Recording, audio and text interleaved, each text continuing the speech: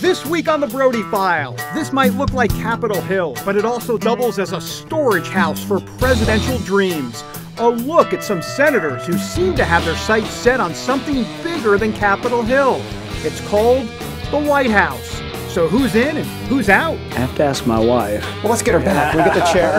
A closer look at Rand Paul, Ted Cruz, and Marco Rubio, a trifecta of senators mulling a run for the White House. This special edition of the Brody File from Capitol Hill is next.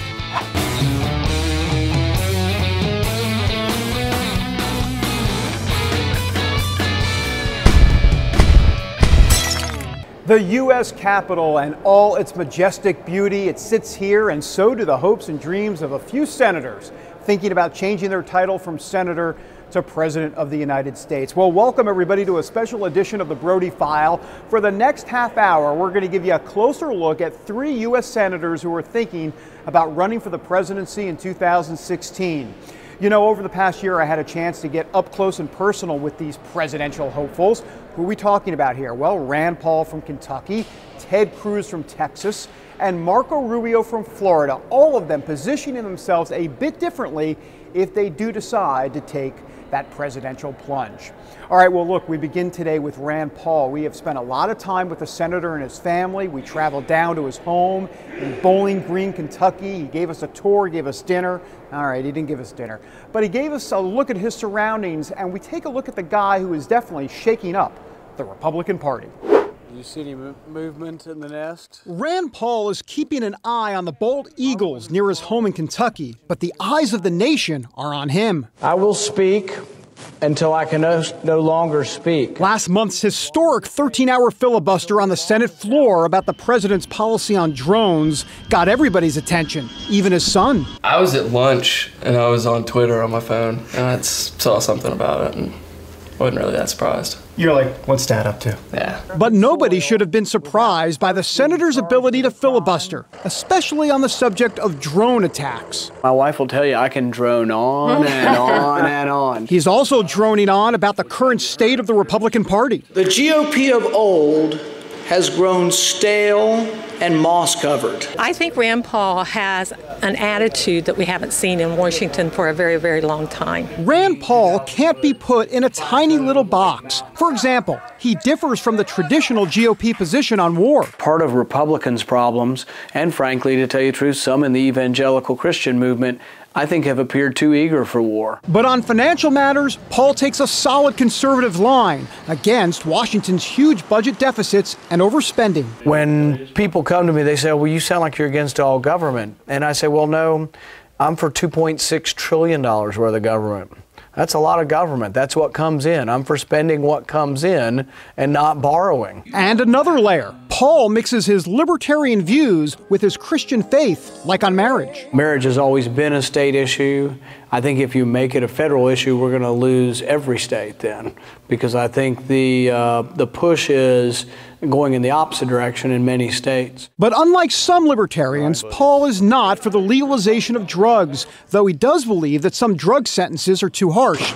He is firmly pro life and supports prayer in local schools. And I think people do misinterpret the First Amendment. They think the First Amendment was somehow to say that your local school would never have a prayer in it, and I think that's wrong. Paul is a deep thinker, his politics influenced by Austrian free market economist Friedrich von Hayek and Ayn Rand, who is considered anti God. But ultimately, his libertarian conservative views filter through a biblical lens. He became a Christian when he was a teenager. Yes, I do have a personal relationship with Jesus Christ. But he tells me that much like his father, he doesn't wear it on his sleeve. Mine has never been one that I felt like it, it was going to be my role to convert people. But that doesn't mean he shies away from speaking boldly about the spiritual condition of America. It needs a resurgence through churches, through revivals, through a spiritual cleansing of the people. It's not a politician that's going to save the country.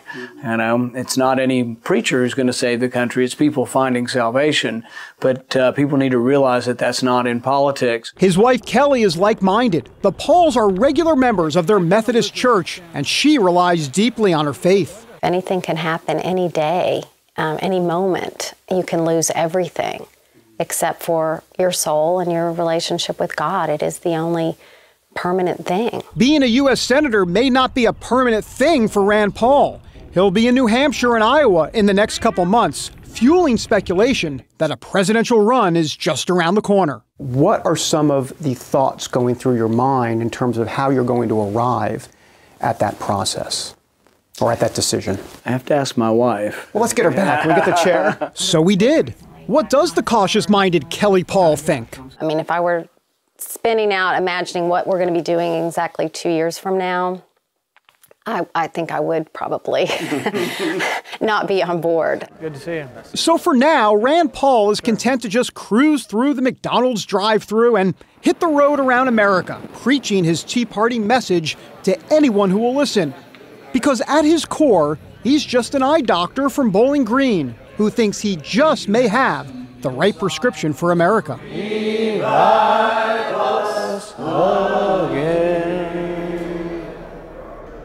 Rand Paul on the Brody file. He is definitely one guy to keep your eye on. Look, he's not your traditional Republican candidate, which, by the way, makes him all the more interesting. There are potholes ahead for sure for him, but if he plays his cards right, you just never know. All right, coming next, boy wonder, Marco Rubio of Florida. Is he the next Ronald Reagan? Back in a moment. And we're back here on the Brody File, looking at the White House here in Washington. Democrats love what's inside, conservatives think there's a big stench coming from inside, but hey, it's Washington, and that's what we do here, don't we? Hey, look, this week we are profiling certain senators inside the Capitol here, and they're all thinking about running for president. So, next up, Marco Rubio, the senator from Florida has a lot going for him. Look, he's young, he's extremely articulate, he likes the Brody file. Out of all of the Republicans, he might just be the best in simply explaining conservative principles. Now, part of the problem for Rubio has to do with the I word, immigration reform. I guess that would be the IR word. Anyhow, look, he stuck his neck out on this issue. He's trying to lead.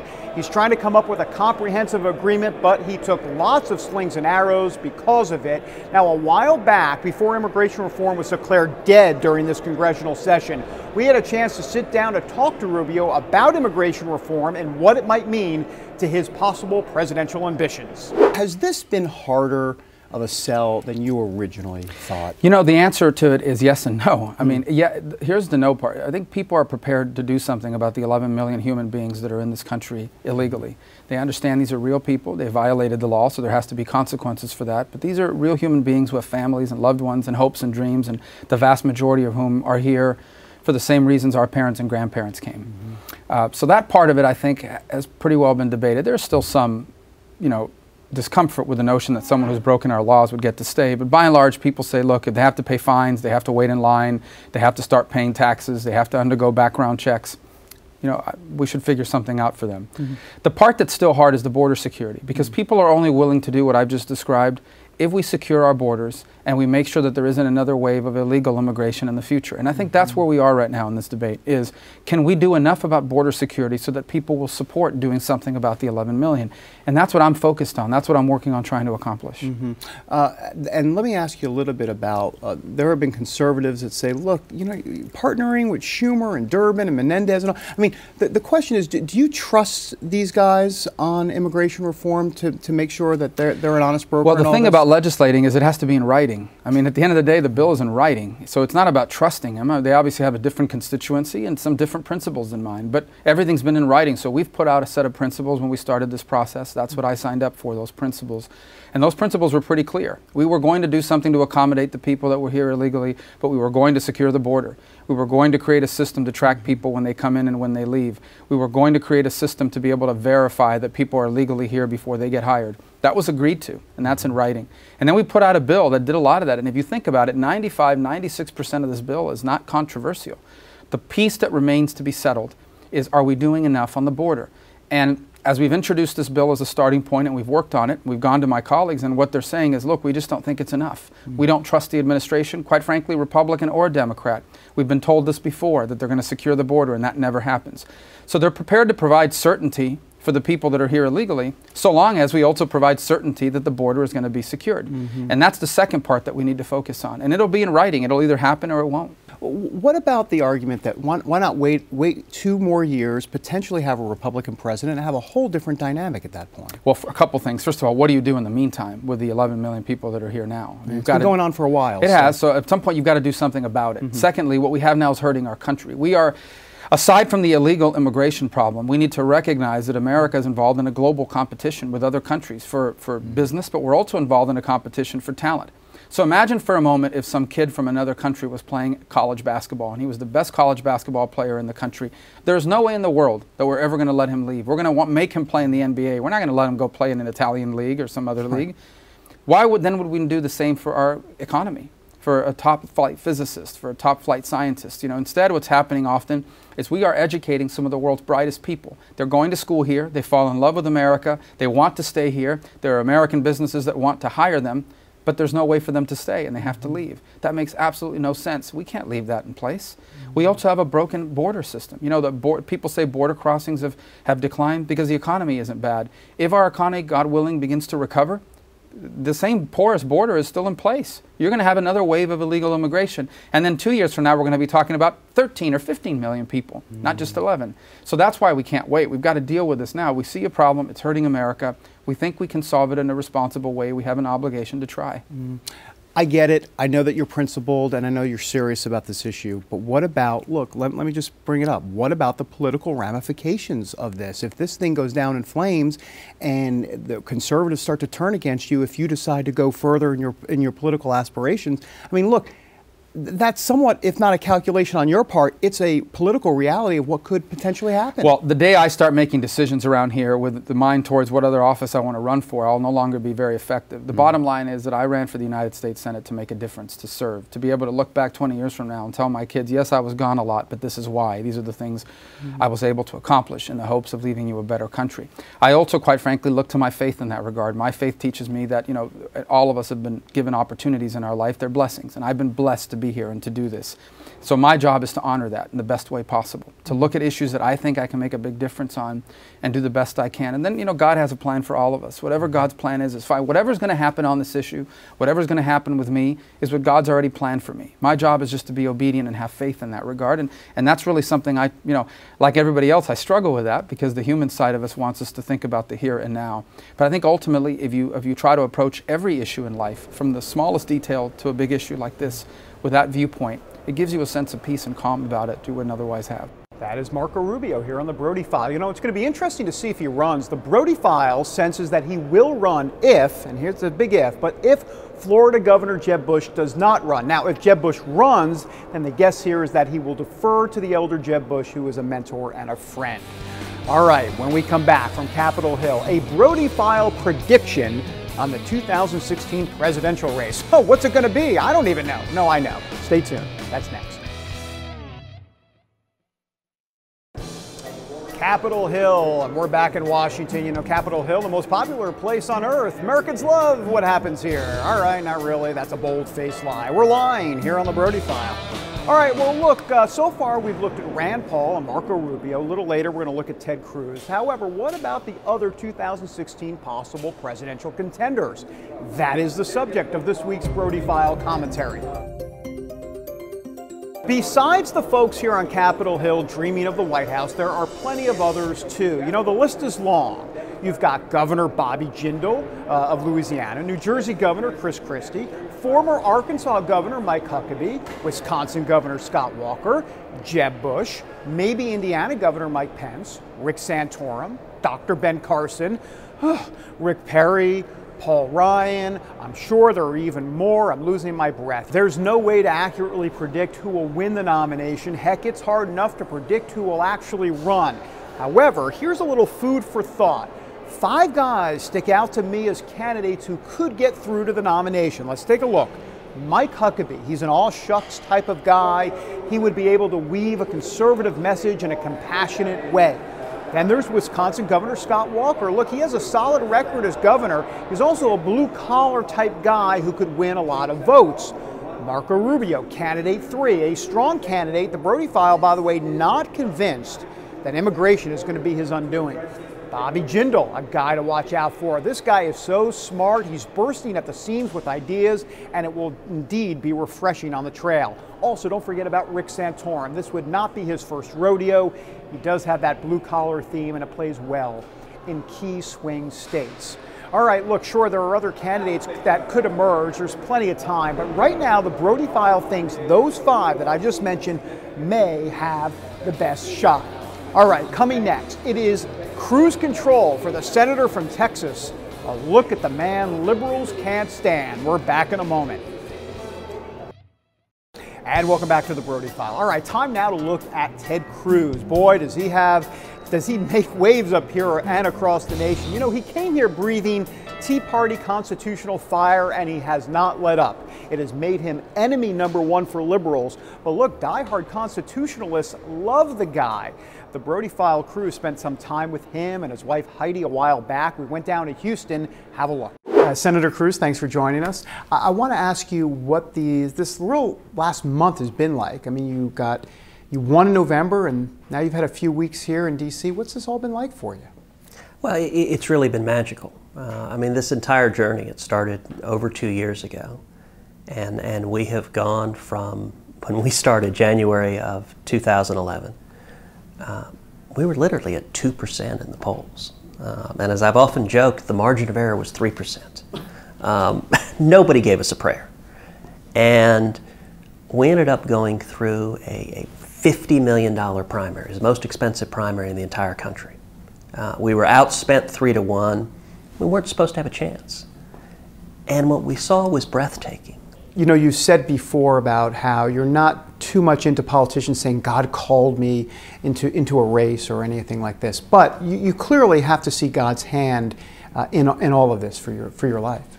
No doubt, uh, but, but I think that's ultimately uh, I'd rather that be demonstrated by its fruit uh, than necessarily me proclaiming that to others. Uh, I, I, think anyone in politics, you've, you've got a special obligation to avoid being a Pharisee, to avoid ostentatiously wrapping yourself in your faith. Because I think in politics, it's too easy for that to become a crutch, for that to be politically useful. Uh, and I think uh, ultimately, that undermines the message. I, I think you should live your life uh, consistent with your faith, consistent with your principles, and let your actions speak for themselves and let your walk speak for itself. You know, you've talked about your Baptist faith. So, so what has that been like? Because this has been quite a process for you to become uh, a Baptist, if you will. What's that been like? I am Cuban, Irish, and Italian. Uh, and yet somehow I ended up Southern Baptist. Baptists talk about a personal relationship with God. What, what does that mean to you? Well, I, I, mean, I think it is exactly that. I mean, I mean, it is. At the end of the day, faith is not organized religion. It's not going to a church. It, it, it is a personal relationship with Jesus Christ as your Lord and Savior, and and that is that relationship gives one a strength, a confidence. Uh, not just in salvation ultimately, but day to day as you go through the slings and arrows of daily life. So, what do you make of all of this mainstream media attention that you've been getting? I mean, you, you see the headlines, some are a little different on MSNBC or maybe Fox, but look, they're, they're calling you a GOP rock star. Uh, you know, I, I, try to pay, pay very little attention to the media. Um, it, it is, uh, as you know, a fickle creature. Uh, that they can say, anything today and tomorrow it, it, it can change dramatically. And so I just try to laugh it all off uh, and, and, and not worry about it. At the end of the day, my focus is on trying to make a difference for the principles that make this country strong, for the principles of free markets, for the principles of the Constitution, for the principles that have made this country uh, a, a land of such incredible opportunity. So, with all of that media attention that you're receiving, some of those articles have to do with Ted Cruz running for president in 2016. It could happen. This is what they're saying. When, when you read those articles, what goes through your mind? Uh, you know, I, I, I, try not to pay attention to it. Uh, there are big challenges facing this country. I mean, we're going broke. Our national debt is larger than the size of our economy. And millions of Americans are, for very good reason, concerned for the future of our country. Ted Cruz definitely showing signs of running. You know, he's visited Iowa numerous times. He's playing up the religious freedom issue, which is something near and dear to the hearts of evangelicals, which, of course, are, a huge vo voting bloc in the GOP primaries. Look, he has got potential for sure, but he also has a media filled with liberals that are gunning for him. All right, when we come back from Capitol Hill, our Oy vey moment of the week, it's going to make me cry. Wait till back in a, back in a moment. And welcome back to the Brody File from Capitol Hill. All right, look, well, before we leave you, we have a very sad story. So sad, in fact, it made us crack up. It's this week's Oy vey moment of the week.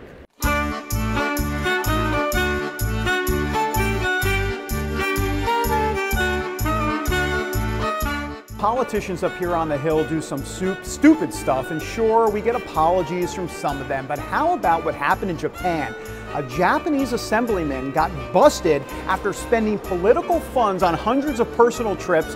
So he felt so bad, he called a press conference. But wait until you see this. He was so distraught about being caught that he got a little emotional. Well, maybe very emotional. でも同じや同じや思って